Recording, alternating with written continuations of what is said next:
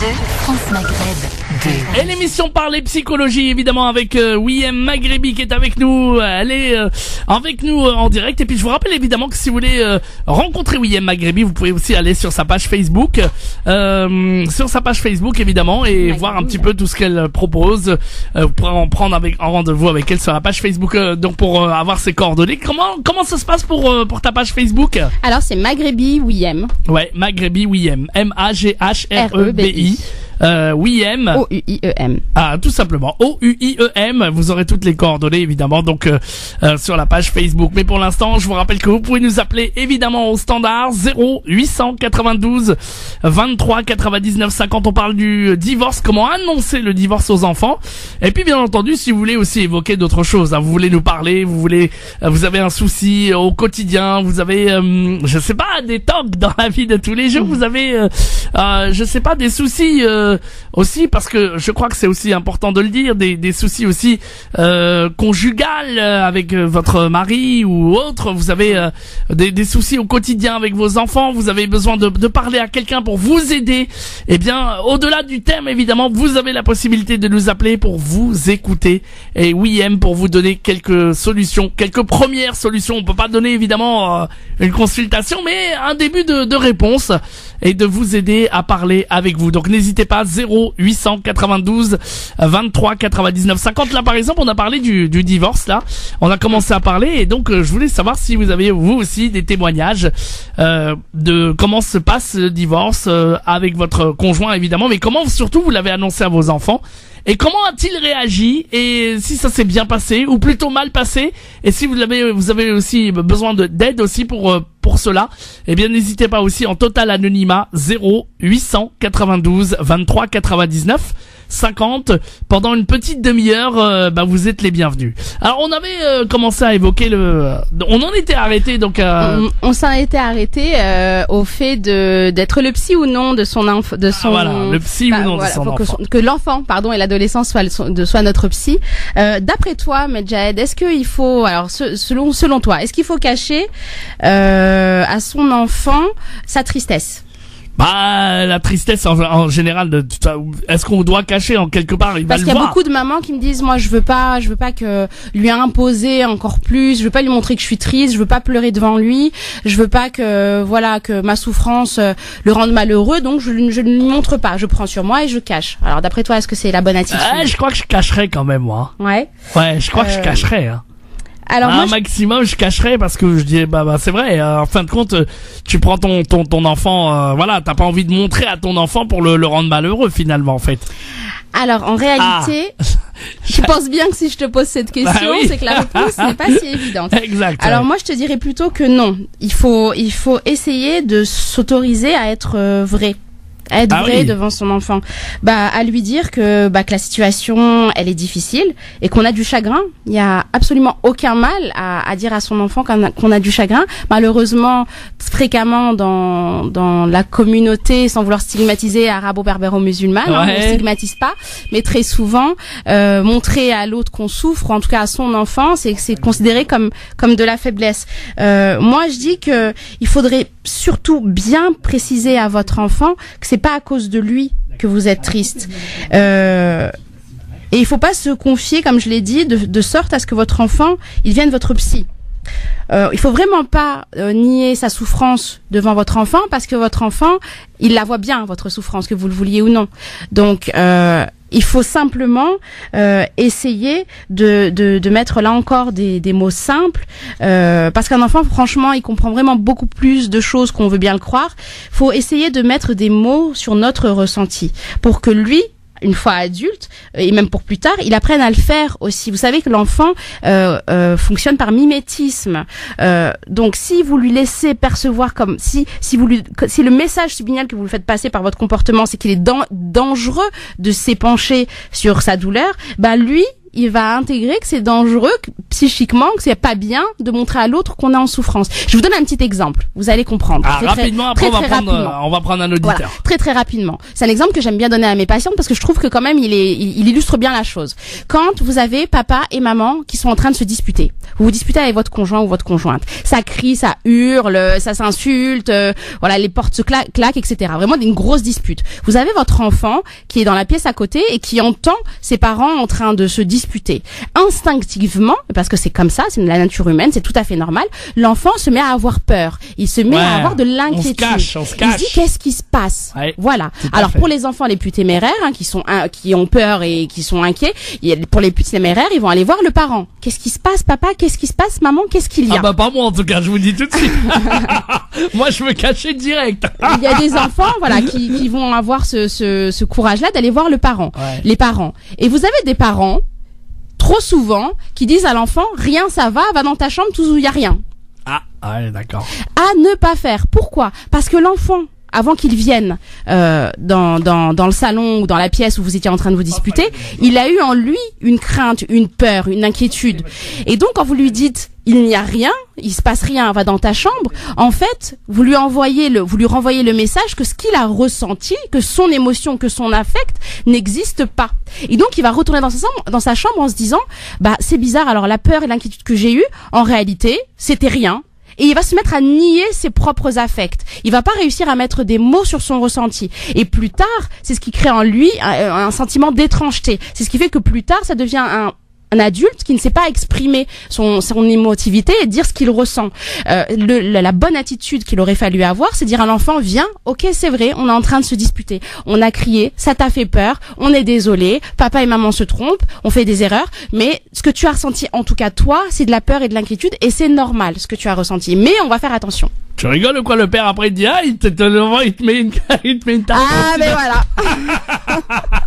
Ah, allez on va prendre des... allez, aigle bougique, va dans ta chambre, je veux pas te voir ici. C'est plutôt ouais c'est De ça. quoi je me mêle, malheureusement. Euh, voilà, 0892 23 99 50. Euh, on va accueillir des auditeurs. On a la priorité à nos auditeurs qui vont t'écouter, qui vont parler avec toi et qui vont euh, te demander beaucoup de conseils. On a Nassima qui est à Paris. Bonjour Nassima.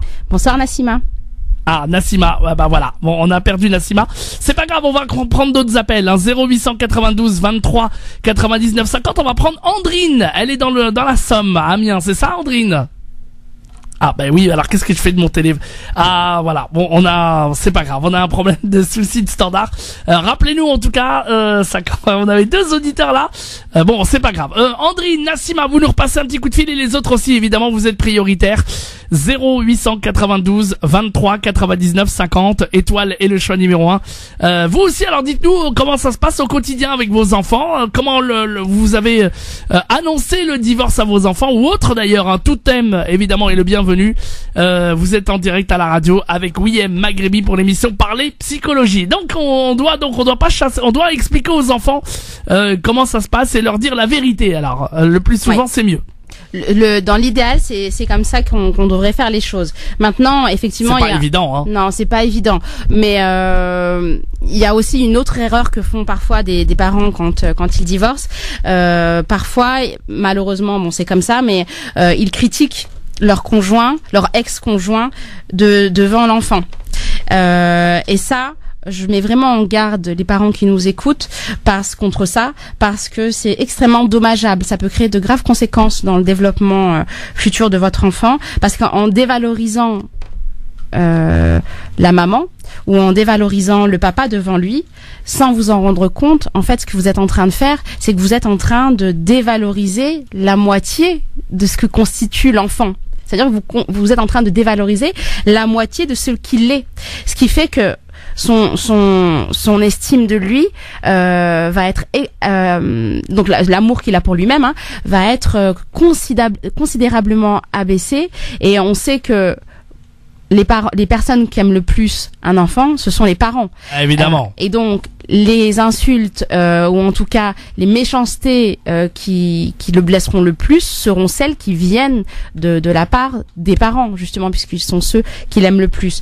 Euh, c'est c'est vraiment extrêmement c'est vraiment négatif hein, pour le développement euh, et même pour celui qui sera plus tard de d'avoir ce comportement. Il faut vraiment essayer au contraire de dire euh, je sais que c'est difficile, c'est un peu Ah, mais il faut oui, oui. faut vraiment essayer en tout cas devant devant votre enfant de dire euh, peu importe tout ce qui s'est passé euh, je n'oublierai jamais que ton père euh, euh, ou ta mère euh, qu'avec ton père ou ta mère nous nous sommes aimés euh, et en tout cas aujourd'hui je respecte ton père ou ta mère même si on ne s'aime plus il reste le respect Il reste ton, il reste en tout cas, tu, tu es, euh, tu es le, tu es notre enfant quoi en gros en fait, c'est ça. Exactement. Faut Ouais. vraiment qu'il sache, faut vraiment qu'il qu'il affronte cette épreuve de la séparation hein, avec l'idée que euh, il est le fruit du désir euh, euh, de l'u- de l'union de ses deux parents, même si euh, il n'est pas le fruit de, de l'amour, hein, comme on pourrait le- comme on peut le- euh, on pourrait dire les choses, voilà. Euh, il faut vraiment qu'il sente que euh, il ne regrette que les deux parents ne, ne regrettent pas et ne regretteront jamais ce moment où il a été conçu. Faut vraiment qu'il soit sûr euh, que que ses parents l'ont eu parce qu'ils l'ont et parce qu'ils se sont aimés et que surtout ils l'ont eu et qu'ils ils ont euh, Et que rien ne va changer après, j'imagine aussi, non? Euh, que ri- Enfin, ça c'est pas bon non plus. par rapport à l'amour qu'il lui porte. Voilà, par pour rapport ça à que l'amour. j'insiste sur le fait que il faut euh, maintenir le couple parental Ouais. Euh, même si le couple conjugal lui euh, se prend fin. Vraiment, euh, faut faut garder à l'esprit que quand je quand je dis du mal euh, de, de de mon conjoint euh, devant mon enfant, en fait c'est une forme vraiment de de de, de violence, hein, de violence ordinaire. C'est vraiment une forme de maltraitance. Euh, et là, je mets aussi en garde les euh, les les parents qui sont en train de divorcer. Attention, juridiquement, quand on dit du mal euh, qu'on dit par exemple à un enfant ton père il est comme ci il est comme ça laisse tomber euh, il m'a fait ci il m'a fait ça etc on se rend pas compte mais c'est extrêmement destructeur pour l'enfant et juridiquement c'est considéré comme de la maltraitance Bien. Eh ben, on aura l'occasion en tout cas de continuer. On va accueillir vos témoignages, vos appels. Merci déjà d'appeler, de franchir le pas. Ça fait plaisir. 0 892 23 99 50. Elle l'a fait. Nassima qui est avec nous de Paris. Bonjour Nassima. Bonjour. bonjour Nassima bonsoir Bonsoir, Yem. bonsoir Alors, j'avais une question qui n'avait rien à voir avec euh, le thème du divorce. Il y a pas de souci. Pas de problème, oui. euh, on a dit qu'on était à votre écoute, donc euh, on évoque euh, absolument tous les sujets ici et voilà, il y a pas de souci. dans mon domaine Alors. de compétences Ouais, dans le domaine de la. Alors, on y va. Donc, j'ai un enfant qui a deux ans et demi, Ouais. euh, euh, qui est très agité. Il n'arrête pas de crier. Bon, la journée, parce qu'il a, en fait, il a t- deux grands frères, un de 17 ans, l'autre de 13 ans, et une sœur de 15 ans. Et euh, la journée, ça se passe plutôt bien parce qu'il est tout seul avec moi. Les, autres sont à l'école, mais quand les autres ils rentrent, bah, il voit tout de suite les choses, il crie. euh, Et le plus énervant, enfin entre parenthèses, ce qui m'embête beaucoup, c'est que le soir, en dormant, il refait la même chose. Il crie tout le temps, il, euh, bah, il dort. Je sais pas s'il cauchemarde à cet âge-là ou pas, mais il n'arrête pas de crier. C'est des hurlements, c'est des, il, euh, il réveille tout le monde. Je pense que même l'immeuble, tout le monde l'entend. Je sais pas si c'est un problème alors c'est ce psychologique qu'on qu'il a. c'est- ça c'est ce euh, qu'on appelle les terreurs nocturnes les cris donc euh, Les- je les- sais pas, je sais pas quoi faire. Je, je ne sais pas du tout quoi faire. D'accord.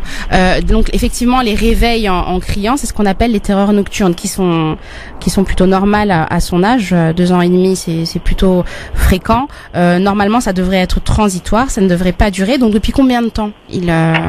Là, ça dure depuis euh, quatre mois à peu près. Ah oui, d'accord. Et pas facile à vivre. Hein. Ça, tous les jours, des fois, je me dis, je vais lui donner une fessée, euh, mais c'est- constamment la même chose. Hein. C'est-à-dire, il dort une heure et demie, deux heures, et c'est des cris, c'est des hurlements carrément. Hein. C'est, euh, euh, je ne sais pas quoi faire. Est-ce qu'il faut aller voir quelqu'un ou je ne sais pas.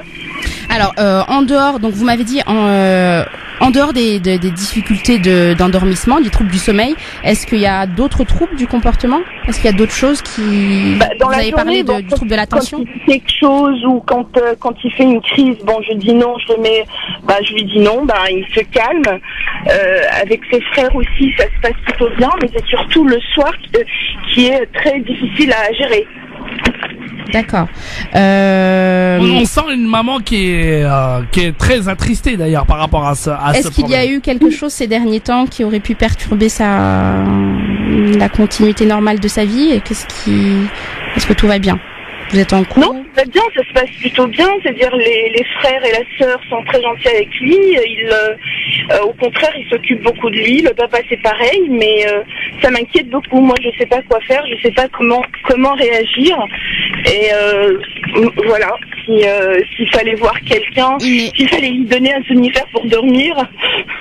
Bon, moi perso- personnellement, je suis pas spécialement pour euh, la, la prise en charge médicamente- euh, médicamenteuse. C'est pas, pas ce que je préconise. Maintenant, euh, est-ce que, est-ce que, euh, donc dans la journée, vous m'avez dit que tout va bien. Il arrive à se concentrer? Oui, il arrive à se concentrer. Il n'est pas encore scolarisé, hein. On est d'accord. Oui, oui, tout à fait. D'accord. Euh, est-ce que, euh, est-ce qu'il il présente des colères ou des crises d'opposition? Oui, oui, oui. Mais alors, des fois, ben, ça marche parce que des fois, j'essaie de lui parler très gentiment, je lui explique les choses et ça passe.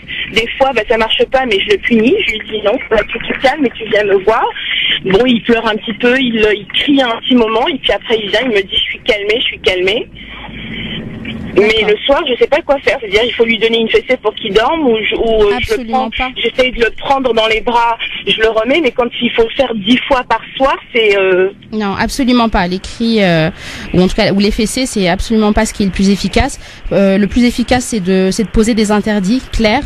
Euh, maintenant, euh, effectivement. Alors, est-ce qu'il dort avec vous ou est-ce qu'il a sa chambre? Oui, il dort dans la chambre. Non, non, il dort avec moi.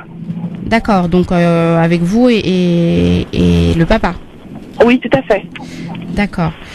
Euh, bon, moi je suis pas je suis pas forcément contre le cododo, mais euh, il faut faut comprendre pourquoi on, on, on a instauré ça et euh, et puis il faut faut vraiment que ça rentre dans un projet éducatif. Donc euh, moi, je vous conseillerais effectivement, c'est- vrai que entre 2 et 3 ans, lorsque lorsqu'un enfant présente euh, des colères et des crises d'opposition euh, qui deviennent difficiles à supporter pour la famille, hein, quand ça devient vraiment handicapant, euh, c'est vrai que le et en tout cas également des terreurs nocturnes, euh, j'aurais plutôt tendance à, à vous orienter euh, vers euh, vers un thérapeute pour essayer de, de comprendre euh, euh, qu'est-ce qui se joue? Pourquoi votre euh, enfant ne- n'obéit pas, pourquoi il, il- il défie votre autorité, euh, essayer de comprendre euh, quel conflit se joue en fait euh, euh, pour lui. Donc euh, ne, ne peut-être pas ne pas trop hésiter très longtemps à aller voir un, un pédopsychiatre D'accord. je pense, ou même un psychologue, hein, c'est pas grave. Euh, bon, les terreurs nocturnes depuis quatre mois, c'est c'est quand même euh, c'est quand même un peu. Alors comment il s'alimente, comment il mange? Ben, il mange plutôt bien. Il est très très calme à table. Euh, Il, euh, ben, il mange avec les autres. C'est-à-dire, j'essaie de le mettre avec euh, euh, ses frères et sa sœur pour qu'il dîne avec eux ou il déjeune avec eux. Ou euh, il le fait plutôt bien. Il le fait très bien même. D'accord. Au niveau du langage, vous ne voyez pas de. Il n'y a aucun retard. problème. Il parle très très bien en son âge. Ah, il parle très bien. Ah bah ça c'est une bonne nouvelle déjà. Ah bah oui, c'est des, des choses positives qu'il faut voir. Euh, oui, M, dans un Alors- premier temps, premier conseil, que- qu'est-ce qu'on pourrait lui donner comme conseil pour essayer de... Bah, c'est-à-dire que là, Au au, vu de ce qu'elle, de ce que j'ai oublié votre prénom, excusez-moi, Ah. Nassima. Là, au vu de ce que vous, donc vous me dites qu'il parle très bien. Est-ce qu'il est Il propre? très bien. Oui, il est propre. Il a été propre à quel âge? 18 mois. À 18 mois. Oui. D'accord. Euh, bah, c'est-à-dire que là, au, vu de, de, de tout ce que nous dit euh, Nassima, euh, un enfant qui euh, euh, qui est plutôt agité, qui présente des terreurs nocturnes, euh, qui est propre de façon assez précoce, qui parle tôt et plutôt bien, on va voir très bien. Moi, j'aurais plutôt tendance à pencher vers ce qu'on appelle la douance. Je ne sais pas si vous avez déjà entendu parler de ça. Non. Euh, c'est ce qu'on appelle euh, communément la précocité. Voilà. C'est-à-dire que très souvent, le premier symptôme de, de la douance chez l'enfant, c'est justement les, les, les difficultés de- d'endormissement, les terreurs nocturnes. Euh, voilà. Là, ce que vous me dites, moi, j'aurais plutôt tendance à, à penser à ça, c'est-à-dire une précocité. Maintenant, effectivement, il est encore petit.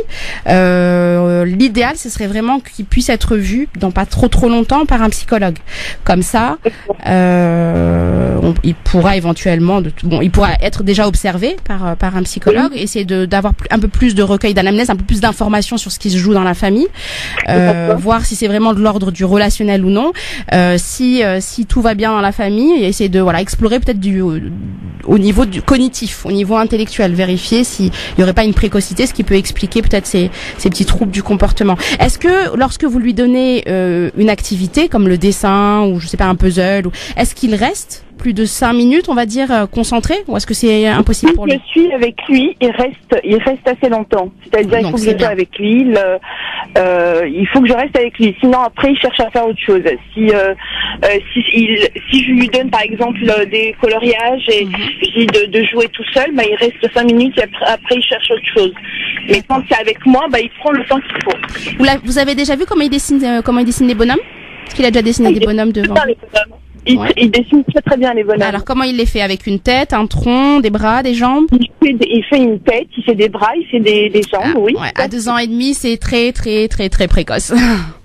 Ah, à deux ans et demi, c'est plutôt euh, on- on- l'enfant aura plutôt tendance à faire euh, une forme du type tétard. Donc euh, Oui, moi, je vous conseille vraiment, n'attendez pas trop trop longtemps, amenez pour juste euh, voilà faire le point, pour euh, être aussi rassuré, pour pour comprendre vraiment ce qui se joue et et euh, que le psychologue ou le thérapeute puisse, enfin le pédopsychiatre puisse vous donner des clés, voilà pour euh, gérer les situations de crise. Euh, mais moi, je voilà, c'est plutôt le conseil que je vous donnerai. euh. Est-ce que c'est pour euh, pour elle pour la rassurer un peu c'est c'est c'est pas très grave c'est euh, Bah non, parce que moi, moi franchement, euh, si, j'ai plutôt à- tendance à pencher vers la douance, vers ouais le haut potentiel. donc euh, Et fait, bien entendu que ce n'est pas grave, au contraire. ouais. au contraire C'est c'est plutôt une un- bonne nouvelle. plutôt une bonne nouvelle qu'il soit mûr quoi en fait votre enfant Ouais. Oui, et Ouais. quand c'est euh, quand Bah. c'est fréquent, c'est pas c'est pas évident. hein. Oui, mais pas oui, mais hein. c'est pas facile à vivre parce que les enfants qui présentent une douance euh, ont tendance à faire des caprices, à faire des crises de colère, euh, à- et beaucoup jouer sur l'affectivité. Donc euh, ça, oui, c'est c'est fatigant à force. Ouais. euh, Écoutez, je vous remercie infiniment. Mais j'essaierai de de voir quelqu'un pour. euh, oui oui y a pas de problème sinon vous pouvez aller sur la page de Facebook de Wiem Maghrebi je peux vous orienter. et elle pourra vous aider y a oui, pas de oui, souci. Oui, super. Mais écoutez, Donc merci euh, beaucoup. voilà, Bah, il y je a pas de problème. prie. Merci de nous avoir passé un petit coup de fil et de nous avoir fait confiance pour Merci cette vous. première. Bonne Merci, soirée. à Merci. bientôt. Parler psychologie évidemment avec euh, Wiem Maghrebi, notre psychologue musulmane évidemment pour tous et on tient à le préciser ici sur France Maghreb 2. Eh bien n'hésitez pas en tout cas à parler de vos cas, parler de vos difficultés 0892 23 99 50 étoile et le choix numéro 1 pour arriver directement au standard. Wiem Maghrebi vous écoute, vous donne des conseils, vous euh, on parle du thème aussi aujourd'hui, je vous rappelle du divorce euh, de comment expliquer le divorce à son enfant si vous voulez nous apporter vos témoignages, il y a pas de souci. Et puis vous aussi, vous avez des, cas à nous soumettre comme cette auditrice qui nous a appelé pour son enfant. Eh bien voilà, vous avez des, difficultés euh, semblables avec vos enfants, des difficultés euh, avec votre conjoint, des difficultés tout court d'ailleurs. Euh, eh bien n'hésitez pas à nous appeler dès maintenant, vous êtes les bienvenus. On vous écoute encore quelques temps, il n'y a pas de souci, on peut encore prendre quelques appels. 0 892 23 99 50 étoile et le choix numéro 1. Oui, M, on va marquer la pause. Et puis juste après, on, on continuera. Avec et je plaisir. suis sûr qu'il y a plein d'auditeurs qui disent j'appelle, j'appelle pas. Allez-y, franchissez le pas, vous allez voir, ça se passe super bien. Oui, M vous met en confiance, c'est notre psychologue musulmane. Aujourd'hui, en direct à la radio, parler psychologie sur France Maghreb 2 au 0892 23 99 50. Elle vous écoute. N'hésitez pas, à tout de suite. France Maghreb 2, France Maghreb 2. Allez, l'émission Parler Psychologie, évidemment, avec William Maghrebi qui est là et qui attend vos appels, évidemment, si vous avez envie de lui parler, de demander des conseils, vous avez besoin de vous exprimer, de parler avec William, 0892 23 99 50, que vous soyez à Paris ou en région parisienne, évidemment, eh bien, vous êtes les bienvenus, mais aussi tous les auditeurs de province qui nous écoutent, Clermont, Dijon, Reims, Amiens, Le Havre, Orléans, du côté de Metz, du côté de Marseille également. On a eu tout d'ailleurs une auditrice qui nous a appelé, qui avait un enfant turbulent, un enfant agité, un enfant euh, voilà qui qui avait quelques bah qui qui avait qui qui est euh, qui est comment dire en, en totale énergie, on peut dire ça comme ça. Hein. Et donc vous lui avez donné donc des, des, des précieux conseils évidemment. Et vous aussi, si vous voulez euh, bien entendu parler à William Magrebi, eh bien 0 892 23 99 50 pour parler de ce que vous voulez évidemment. Et alors aujourd'hui, on a évoqué un thème qui est très important puisque vous parlez euh, des divorces, euh, des divorces de conjoints et surtout comment expliquer le divorce à son enfant. Euh, donc on attend aussi vos témoignages si vous avez envie d'intervenir sur ce thème, savoir comment vous vous avez expliqué le divorce à votre enfant, comment ça s'est passé, est-ce que ça s'est bien passé ou est-ce que vous cherchez les clés peut-être pour vous aider suite au divorce, est-ce que ça a été difficile pour vous Des témoignages, n'hésitez pas à nous appeler là aussi pour nous évoquer ce thème 0892 23 99 50. Osez nous appeler évidemment pour cette première parler psychologie. Et donc on va repartir sur le thème alors. Alors d'après toi Medjahed, Ah. est-ce que on doit demander à son enfant euh, sur l'organisation de sa nouvelle vie? C'est-à-dire est-ce qu'on doit, d'après toi, est-ce qu'on doit lui dire, bah est-ce que tu veux aller chez papa ou est-ce que tu vas aller chez maman? Il y a beaucoup de, je, je vois souvent ça dans, dans le cadre euh, euh, Ah de bah moi déjà, euh, à mon avis, je pense que c'est déjà la plupart des gens, ils vont chez maman. Euh, la plupart, non, pas forcément. Mais moi, ce que je, je- d'après toi, est-ce que ce que je voulais savoir, c'est est-ce que c'est mieux de demander à, à son enfant de choisir Bon, je vais, je vais répondre hein, à ta place. Euh, Il faut vraiment que, euh, donc moi, la réponse c'est vraiment non. Il faut que l'enfant sache que ce sont ses parents qui choisissent la meilleure solution pour lui. Quand un parent demande à son enfant de décider avec qui il veut, il veut rester, euh, c'est le mettre euh, en position de, de. Et ça, c'est extrêmement insécurisant. Il doit rester dans sa position d'enfant. C'est moi une erreur de croire qu'en laissant euh, l'enfant choisir chez qui il veut aller, ce sera plus facile pour lui et que, que- que comme ça, il surmontera plus facilement Ah oui. l'angoisse. Non, absolument pas. Au contraire, parce que implicitement, et peut-être on, on- je le développerai après avoir euh, pris euh, l'appel de notre auditrice ou notre auditeur. euh, quand on fait ça, on, on- on met en place ce qu'on appelle le conflit de loyauté. Et je- j'explique, j'expliquerai ce que c'est. Et c'est extrêmement euh, dommageable. Eh ben on en parle dans un instant, bien entendu, vos appels prioritaires au standard 0892 23 99 50. Euh, à votre écoute, oui, M. Magrebi, on a Asma qui est avec nous. Bonjour Asma. Oui, bonjour. Bonjour. Asma. Euh, Salam je voulais parler à WM. Oui, c'est vrai. Donc, euh. Donc, c'est par rapport, en fait, moi, c'est dans l'autre sens. Moi, c'est, je, c'est par rapport à ma mère. Ouais. Donc, euh, en fait, euh, depuis beaucoup, plusieurs, plusieurs années, donc maintenant plus de 12 ans, j'ai euh, une relation parentale euh, assez compliquée, on va dire. Euh, ma mère, elle a rencontré beaucoup, beaucoup de problèmes étant jeune. Et euh, en fait, tout ce qu'elle a vécu, ça se répercute sur moi. Et en fait, quelque part d'autre, plus maintenant j'avance, et plus je me rends compte que non seulement elle est en train de détruire en fait sa relation familiale pour euh, retrouver, on va dire, une relation amicale avec une ancienne de ses amies, mais elle abandonne aussi sa religion de plus en plus. Donc j'aimerais savoir en fait, euh, est-ce que, euh, est-ce que un suivi, c'est possible pour pour ça ou c'est même pas envisageable, c'est Alors, pas. Donc là, ce que vous êtes en train de nous dire, c'est que votre relation à toutes les deux, donc à vous et à votre maman, elle est devenue compliquée, voire conflictuelle, c'est ça? Vous n'arrivez pas à vous parler? Ou est-ce que vous arrivez à, à Euh, échanger toutes les deux bah en fait, euh, j'ai envie de dire, on s'est jamais vraiment parlé en fait. C'est toujours été une relation, euh, on va dire dans le, dans la couverture quoi. C'est merci puis voilà. Ouais, c'est-à-dire que ça reste Euh, factuel. Vous parlez juste des choses euh, de la vie quotidienne sans sans vous épancher sur euh, vos émotions, votre Voilà. affectivité l'une et l'autre. D'accord. Quand Voilà. vous parlez de beaucoup de problèmes quand elle était plus jeune, de Bah elle a eu des problèmes euh, parce que, euh, enfin, elle déjà sa mère, euh, bah n'aimait pas les filles.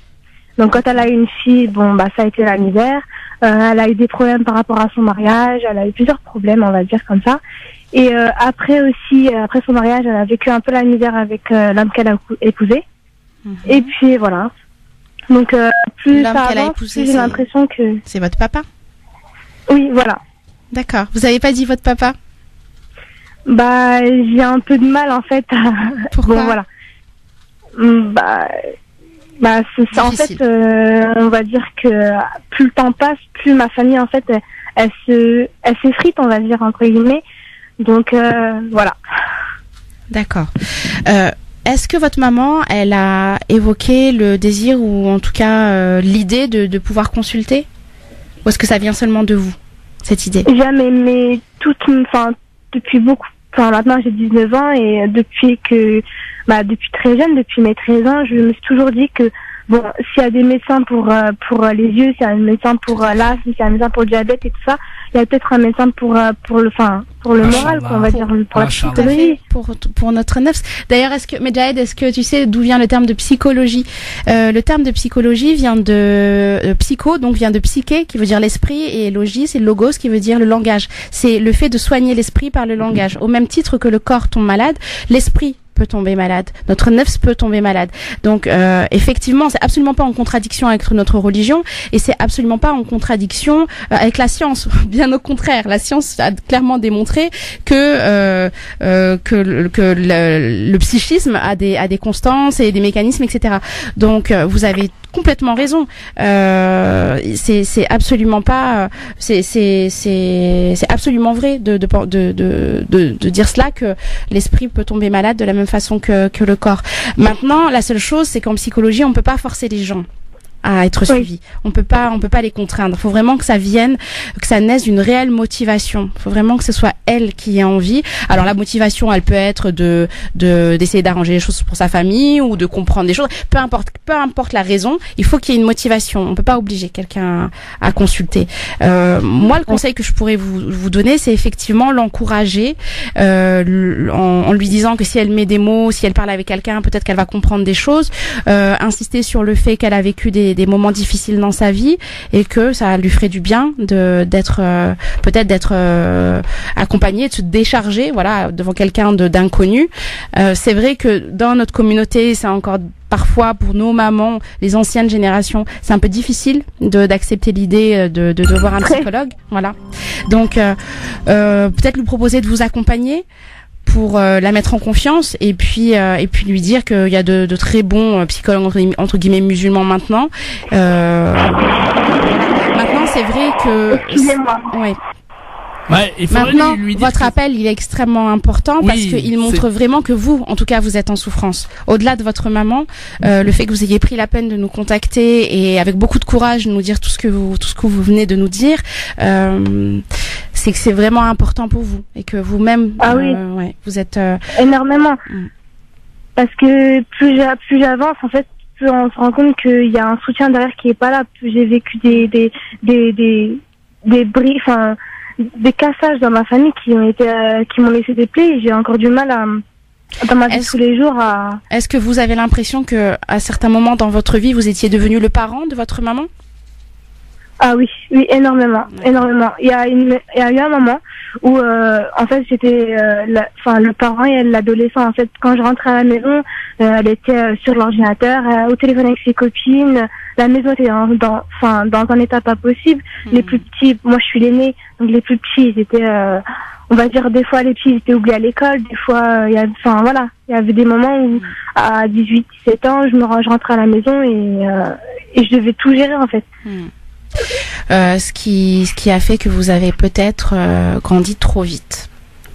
Donc ben, finalement moi le conseil que j'aurais plutôt tendance à vous donner c'est euh, si vous avez toujours porté à bout de bras votre votre famille, si c'est vous qui très souvent aviez le rôle de parent, si souvent c'était vous qui deviez gérer des choses que vous n'aviez pas à gérer à votre âge, le conseil que je pourrais vous donner c'est aujourd'hui pensez à vous malheureusement. Bah. Faites des doigts pour votre maman, pour que pour qu'elle aille mieux et que Non, les choses s'arrangent. Voilà, Mm. Adim, euh, je j'oublie jamais. Ma mère, c'est. C'est votre maman, bien entendu. Voilà, Vous l'aimerez toujours. euh, Enfin, l'amour d'une mère, euh, il, a, il, a, il est incroyable, il est sans limite. Et... Et Ah, je dirais même que l'amour d'un enfant pour son parent est incroyable et, et sans limite. Un, un parent, peu importe ce qu'il peut faire vivre à son enfant, euh, aimera toujours son parent. Quoi qu'il arrive. J'ai des Ouais, cas dans, dans, dans, euh, dans- en consultation de- d'enfants qui sont vraiment maltraités, malmenés par leurs parents et qui vous disent clairement qu'ils les aiment et qu'ils les aimeront toujours. Ça, ça c'est indéfectible, c'est un lien euh, sacré. Donc, euh, alors voilà, je, je- vous m'appelez, vous nous appelez pour nous dire que vous aimeriez trouver une solution pour votre maman. Il n'y a pas de souci. Vous nous appelez. pour-. Vous nous appelez pour nous pour nous dire que vous avez besoin de conseils pour votre maman. Moi, je vous dirais que le, pre- le premier conseil que je vous donnerais, c'est de, de de prendre soin de vous d'abord. Bah, j'ai essayé, enfin, Mais- de, toute façon. Et vous euh, pensez, et vous pensez que si, tout. et, et vous pensez Pardon que si vous allez lui dire, euh, vous lui dites maman, voilà, euh, on va aller toutes les deux voir quelqu'un euh, pour parler, euh, ça, ça pourrait le, le, ça Bah- veut dire, elle voudrait ou pas d'après vous? Bah, le problème, c'est qu'elle, elle est pas consciente de, de son mal-être. En fait, elle le sait, mais elle est, elle a un ego qui, qui lui permet pas, en fait, d'assumer, en fait, tout simplement. Elle, elle, enfin, comment dire, pour elle, c'est toujours les autres qui sont fautifs. Et quand D'accord. elle me dit à moi d'aller consulter, je sais très bien que c'est, en fait, c'est à elle Est-ce qu'elle que parle, en fait. Ah, je, je, je- juste quelques petites questions. Est-ce qu'elle Oui. euh, est-ce qu'elle a été maltraitante vis-à-vis de vous verbalement? Déjà. Verbalement, physiquement, Physiquement. aussi. Pendant D'accord. longtemps. D'accord. Pendant longtemps. Moi, aujourd'hui, j'ai grandi, c'est plus la même chose, mais enfin, on ne dit pas, euh, enfin, la fessée quand elle était petite ou la gifle non non non, on parle vraiment à ou l'âge. la punition. Voilà. on parle je parle de beaucoup plus loin et je parle verbalement. Elle a, il y a eu des actes et des, des faits qui, qui ont, qui, qui, moi, ils m'ont fait du mal, blessé. mais au jour d'aujourd'hui, bon, j'essaie d'effacer, j'essaie de prendre sur moi, mais, euh, mais comment dire, pour, si moi je passe à autre chose, je sais que ma mère, elle restera dans ce point-là, et j'ai pas envie qu'elle reste dans ce mal-être-là, en fait. Euh, est-ce que est-ce que c'est une personne empathique, c'est-à-dire est-ce que quand vous n'êtes pas bien, lorsque vous pleurez, lorsque vous êtes fatigué, elle s'en rend compte, elle vous console? À Franchement. sa manière, on va dire. Non, on va dire à sa manière. C'est, euh, si elle a vu que, que voilà, que je suis dans un mal et que je me sens pas bien, ou que je suis dépassée par le travail ou autre, elle va essayer de, de, de me mettre un coup de pression pour me demander de me relever, mais sinon elle va pas me dire, euh, oh ma pauvre, ma fille, ça non. Alors, je, vous encourage et je vous invite. J'ai pas toutes les informations à ma disposition, mais simplement pour essayer, pour vous, pour que vous puissiez un petit peu euh, approfondir votre votre réflexion et que vous puissiez peut-être euh, avoir une première piste. Je vous conseille de de lire euh, ou de vous informer sur la psychologie des enfants de pervers narcissiques. C'est un terme qui est extrêmement à la mode en ce moment. C'est très utilisé, tout le monde en parle sans réellement savoir ce que c'est. Puis très souvent, on oublie aussi que le pervers narcissique, c'est pas que dans le couple, c'est aussi dans le cadre du travail, c'est aussi dans le cas dans le cadre parental, enfant-parent.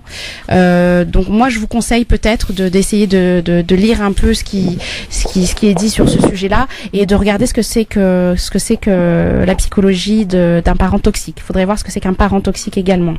On va voir surtout si on peut vous donner les coordonnées de, de William Maghrebi pour euh, essayer de vous aider, d'accord? Et merci beaucoup, avec Voilà. plaisir. Sinon, Très vous allez, gentil. vous avez Facebook? Euh, oui. Eh ben, vous allez sur sa page Facebook. Alors, rappelez-nous les pa- la page Facebook pour rentrer en contact avec vous, euh, William. Alors, c'est Maghrebi Wiem, M-A-G-H-R-E-B-I, Wiem, O-U-I-E-M, Maghrebi Wiem, psychologue musulmane. Voilà, Maghrebi William, psychologue musulmane, vous allez avoir tous les coordonnées et vous allez pouvoir l'appeler euh, en lui disant que vous êtes passé à la radio, elle vous, euh, elle vous aidera, Inch'Allah, d'accord? Avec plaisir, Inch'Allah. Merci beaucoup. Ben, Barakallah C'est moi qui vous remercie de votre appel. À bientôt. Et ben voilà, beaucoup de gens qui parlent, beaucoup de gens qui, qui ont envie de savoir. Ben voilà, vous aussi, vous avez envie de parler de vos parents, vous avez envie de- d'évoquer plein de choses, évidemment. Euh, le thème d'aujourd'hui, évidemment. Bon, alors on a pas euh, tous les thèmes sont évoqués, évidemment. C'est allô, euh, donc à votre écoute, hein, le- parler psychologie avec William Maghrebi. Malheureusement, on va pas avoir le temps d'aller plus loin, malheureusement. Euh, bon, on va vous laisser quand même conclure cette émission, euh, William, et puis surtout, vous vouliez parler d'un poème, vite, vite fait, c'est ça Ah, ça peut-être que ça sera un petit peu trop long. Euh, c'est pas grave, une autre fois, Inch'Allah. Autre Euh, fois. je voulais également proposer des lectures, mais je, je vais les mettre sur ma page Facebook, donc euh, nos auditeurs pourront tout retrouver. Euh, simplement, alors juste pour Bah déjà, moi je voulais dire vraiment que déjà pour une première, c'est c'est vraiment bien. hein. Ça se passe super bien. On est très content de, de vous avoir pour cette émission. Parler psychologie, ça parle à plein de monde. C'est déjà plein d'auditeurs qui euh, qui vont vous parler de plus en plus nombreux et qui euh, qui sont là.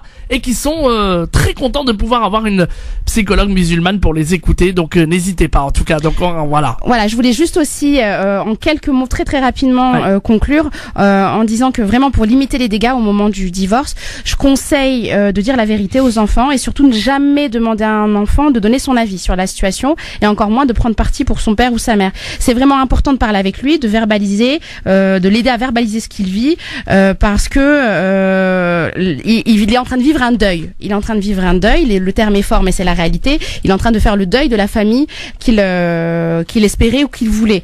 Euh, je pense vraiment que euh, il faut absolument donner tous les moyens à, à votre enfant d'exprimer ce qu'il ressent. La parole de l'enfant dans, dans, dans la situation de, de conflit parental, euh, elle est souvent euh, brimée, souvent aliénée. Donc c'est vraiment important qu'il puisse trouver un tiers neutre, un médiateur, quelqu'un à qui il peut dire tout ce qu'il ressent en étant sûr qu'il ne sera pas jugé. Euh, simplement aussi, Medjahed, si tu me le permets, Oui. euh, je voudrais simplement dire donc à nos auditeurs, à nos auditeurs que la semaine prochaine, euh, Inch'Allah, j'essaierai de parler du burn-out parental. Euh, on ne le connaît pas, c'est vraiment quelque chose euh, qu'on dont on entend très peu parler. Euh, mais voilà, le burn-out parental, c'est au même titre que dans le burn-out dans le cadre du travail. Il y a des fois des parents qui sont juste à bout et qui sont en pleine dépression parce qu'ils n'arrivent plus euh, à s'occuper de leurs enfants. Ah oui, très bien, très beau sujet. Donc Voilà. le burn-out parental la Eh semaine oui. prochaine. Euh, D'ailleurs, à ce, d'ailleurs, pour, euh, j'en profite pour euh, faire un, un, passer un, enfin dire un petit salut et, et dire toute mon admiration et surtout un grand bravo à toutes ces mamans euh, euh, qui vivent seules. Euh, de leur dire que je suis euh, extrêmement admirative devant vous parce que vous portez à bout de bras euh, vos familles. Vous êtes pour moi des, des amazones, des gladiatrices, des combattantes. Oh Euh, donc franchement, courage, patience, continuez. Euh, je voudrais également souhaiter à tous les enfants de pouvoir trouver leur équilibre personnel et leur stabilité. Et puis je et voilà, et je finis avec ça, Medjahid, si tu me le permets. Bien je voulais sûr. vraiment, avant de vous quitter, passer un petit message. Je voudrais remercier en premier lieu euh, Tarek Mami et Ahmed euh, Benabla. Je voudrais vraiment les remercier de m'avoir fait confiance et de nous avoir offert cet espace de temps et de parole d'une heure pour évoquer vraiment des thèmes qui, nous, qui vous intéressent, qui parlent de vous, de votre vie, de vos souffrances, de vos inquiétudes à la lumière de la psychologie.